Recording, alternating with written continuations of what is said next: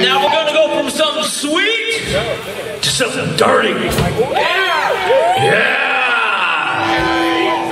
Yeah!